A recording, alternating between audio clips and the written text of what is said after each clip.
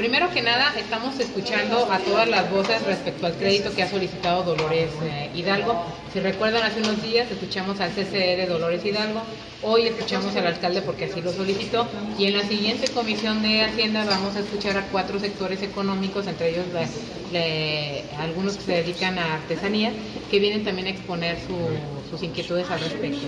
Hoy hicimos varios cuestionamientos técnicos, eh, él presenta su justificación y lo que se acuerda es que vamos a hacer un análisis técnico, profesional, legal y financiero y esta comisión ha venido trabajando así, no es subjetivo, hoy tenemos la ley de disciplina financiera que maneja justamente cómo se debe de hacer el, análisis profesional y es lo que estaremos haciendo en próximos días, ya tener el, el, documento final. No sin antes escuchar a todas las voces, porque creo que es importante también escuchar a la gente de Dolores Hidalgo. Creo que ya está ejerciendo algún eh, crédito, algún préstamo de 30 millones de pesos. ¿Cómo está esa situación? De hecho, el día de hoy se le cuestionó porque la información que nos habían enviado no venía esa información y lo que señala el alcalde es que solicitó por aprobación de ayuntamiento un crédito de 30 millones a corto plazo que la ley de disciplina establece que se puede pedir con algunos requisitos y que tiene que ser por falta de liquidez.